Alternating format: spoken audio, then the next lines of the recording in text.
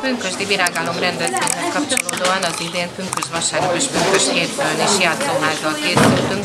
Mind a két napon zene is kíséri a kézműveskedést. Virágokból lehet koszorú tajtódíszt készíteni a kislányok fején élő virágban. Bodza és menta teát kínálunk, illetve limonádét. Ma a Kákics együttes játszik, tegnap pedig a Herman László Zeneiskolának a Barokkúja együttese színesítette a műsort. Nagyon sokan ellátogattak ide a Vörösmarty Mihály könyvtár elé, a Dicsi kiállításra is, akik érkeznek. Nagyon örültek nekik, hogy itt ilyen programban vehetnek részt.